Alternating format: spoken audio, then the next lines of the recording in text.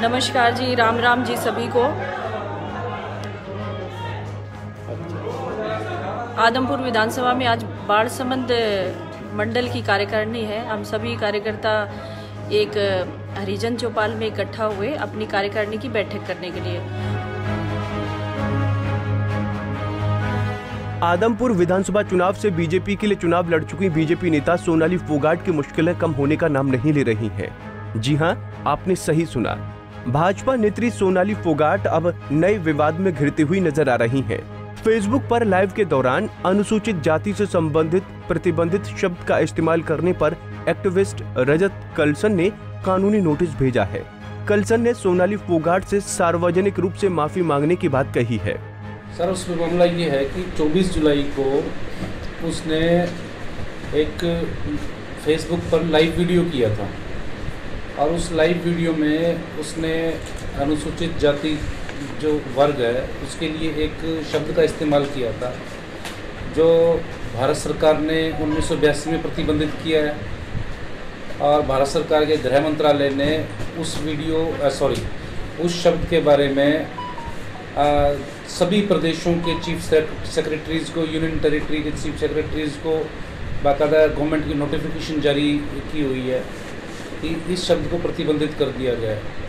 Second government of Haryana ने भी इस बारे में नोटिफिकेशन जारी की हुई है कि इस शब्द का इस्तेमाल सामान्य और सरकारी कामकाज में बिल्कुल प्रतिबंधित है। इस मामले में माननीय जो सुप्रीम कोर्ट है, उन्होंने भी एक मंजू देवी बनाम ओमकार सिंह आलूवालिया का एक केस था 2017 में।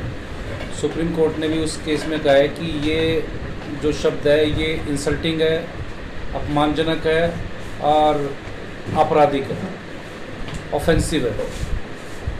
और जो S C S T act का सेक्शन थ्री वन आर और थ्री वन एस है, अगर कोई ये शब्द बोलता है तो इसके तहत एक अपराध है ऑफेंस है और पनिशेबल ऑफेंस है।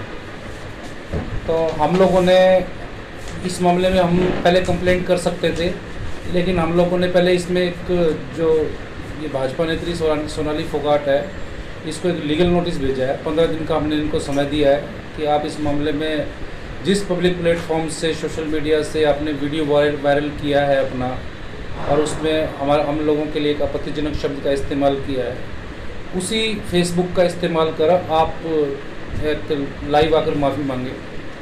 अदरवाइज़ फिर हमारे जो कानूनी रास्ते खुले हैं, हम इस बारे में एक आपराधिक मुकदमा भी आपके खिलाफ़ दर्ज कराएँगे। हम इस बारे में आपके खिलाफ़ अदालत का रुख भी करेंगे। तो ये कब नोटिस आपने भेजा है? ये नोटिस आज ही हम लोगों ने भेजा है इसमें। आपको बता दें कि बीते 24 जुलाई को सोनाली फोगाट आदमपुर के बाल संबंध क्षेत्र के कार्यकर्ताओं की मीटिंग में शामिल होने पहुँची थी। इस दौरान किसानों ने मीटिंग का विरोध भी कर दिया था और इसी बीच सोनाली फोगाट फेसबुक पर लाइव आई थी। अधिवक्ता रजत कलसन ने आरोप लगाया कि इसी वीडियो में सोनाली फोगाट से अनुसूचित जाति से संबंधित एक शब्द का इस्तेमाल किया जो केंद्र व राज्य सरकार द्वारा प्रतिबंधित किया गया है। उन्होंने कहा कि सोनाली फोगाट के सोशल मीडिया पर लाखों फॉलोअर्स, जिन्होंने सभी ने इस वीडियो को देखा व इस वीडियो के माध्यम से सोनाली फोगाट ने पूरे अनुसूचित जाति वर्ग को अपमानित करने का काम किया है। बता दें कि एक्टिविस्ट व अधिवक्ता रजत कलसन अनुसूचित जाति के अधिकारियों को लेकर लंबे समय से काम कर रहे हैं। ऐसे पूर्व कलसन क्रिकेटर युवराज सिंह, अभिनेत्री युविका चौधरी व मुनमुन दत्ता के खिलाफ भी शिकायत दे चुके हैं। इन मामलों में पुलिस जाँच कर रही है, अब सोनाली फोगाट के खिलाफ प्रतिबंधित शब्द इस्तेमाल करने पर नोटिस भेजा गया है। हांसी से संदीप सैनी, पंजाब केसरी टीवी। हमसे जुड़े रहने के लिए हमारे YouTube चैनल को सब्सक्राइब करें और नई वीडियो की नोटिफिकेशन के लिए बेल आइकॉन को दबाएँ। अगर आप ये वीडियो Facebook पर देख रहे हैं तो लाइक ज़रूर करें और ज़्यादा से ज़्यादा शेयर करें धन्यवाद